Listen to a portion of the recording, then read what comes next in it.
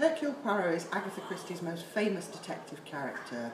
He's a very fussy, brilliantly clever, meticulous detective genius.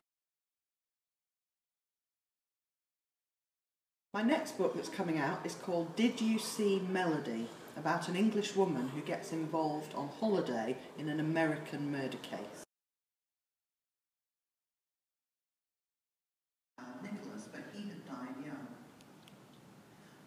To leave everything to my secretary, Joseph Scotcher.